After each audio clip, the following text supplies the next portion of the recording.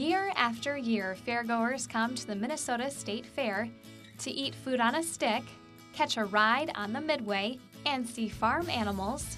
Visiting the House of Representatives booth is also a tradition for many. Is taking the poll part of your tradition that you do? Every time, yes. With the Great Minnesota Get Together now over, let's take a look at one last fair tradition the unveiling of the results from the poll. Publicly funded preschool for all four year olds was a highly debated topic during the 2015 legislative session and was the first question on the opinion poll.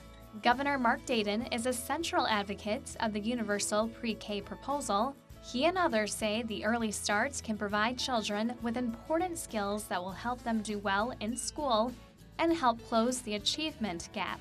They will learn better and faster, and they will get a better education for it. Critics argue that the proposal is too broad. An expansion of preschool to the public schools would price many private, for profit, and nonprofit child care providers out of business. Seniority has long been the primary factor for most Minnesota public school districts when determining teacher layoffs in times of budget cuts. Opponents say the current system risks firing excellent teachers while keeping subpar instructors, and that effectiveness and merit should also be considered. But those in favor of the status quo say doing away with the practice would unfairly diminish the impact of seniority and disrupt an environment of collaboration among teachers.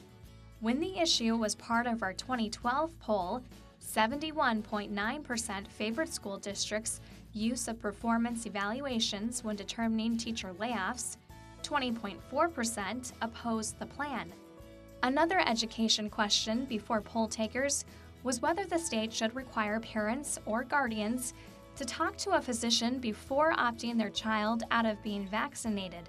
The question is based on House File 393, a bill sponsored by Representative Mike Freiberg, a DFLer from Golden Valley. Freiberg says his bill is all about keeping kids healthy and avoiding vaccine preventable diseases. However, opponents consider the proposal an unnecessary mandate. Most parents love their children enough that they'll make that decision on their own, and they might talk to the physician anyway.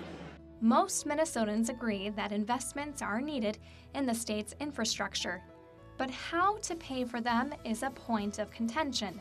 In recent years, transit advocates have pushed for an increase in a Twin Cities area quarter cent sales tax to fund investments in light rail, commuter rail, and rapid bus transit projects. Others say the state should focus on maintaining and upgrading existing roads and bridges, not expanding bus and rail routes, while utilizing existing funding sources to do so.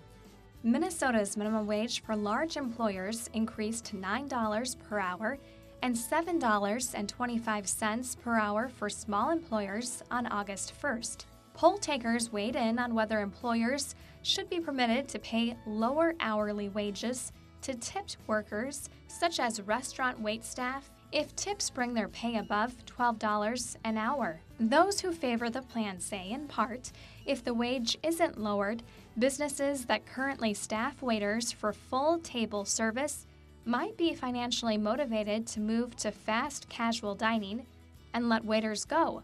Opponents call the proposal a penalty on people who earn tips for their work. Staying with the income theme, the poll asked if Social Security income should be exempt from Minnesota's individual income tax. Proponents say the tax makes Minnesota less competitive with other states that don't have the tax and encourages retirees to leave the land of 10,000 lakes for a place where their retirement savings go further. Others argue by not taxing Social Security, a huge hole in the budget could be created, leaving a large bill for the next generation to pay. Fairgoers were also asked if the state constitution should be amended to protect electronic communications and data, such as email or text messages, from unreasonable government searches and seizure. Those critical to the proposal say the Constitution doesn't need to be amended to specify protection for digital records, since they say the courts already do this. Fairgoers weighed in on whether the state should help local law enforcement agencies purchase body cameras to be worn by officers. I thought particularly the body camera for all our local law enforcement was important for their safety and to take care of any accusations that may or may not be true alleged against them.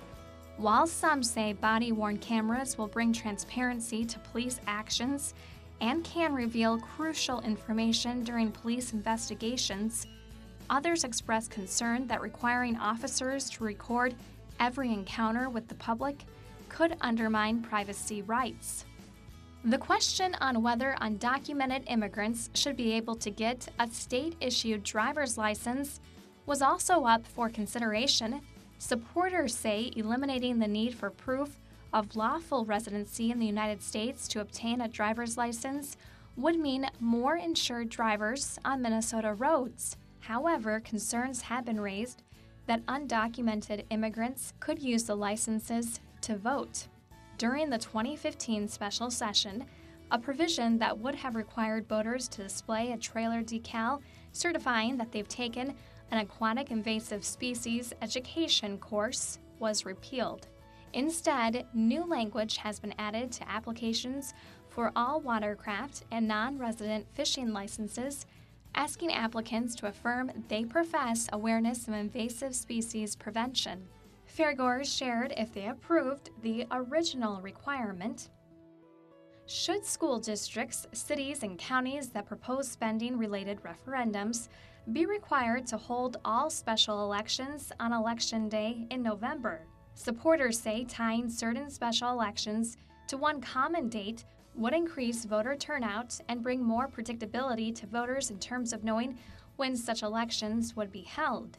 However, opponents claim such a change would take away the flexibility that school districts currently have to time special elections with capital project needs dependent on seasonal construction. Safety versus freedom are the opposing sides to the last poll question.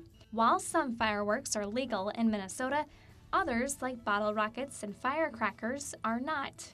Those opposed to expanding legal fireworks, including Governor Dayton, have expressed concerns about safety, but others say Minnesotans should have the freedom to celebrate how they like. Might as well. I mean, people that live here go to Wisconsin and North Dakota and wherever else to buy them. You know, people get hurt. People get hurt all the time. You know, even the sparklers are pretty dangerous too, and they let them use those. Thank you for being part of our tradition and participating in our poll. With the 2016 legislative session scheduled to begin March 8th, we'll have to wait and see if any of these issues go from questions on the 2015 opinion poll to laws of the state.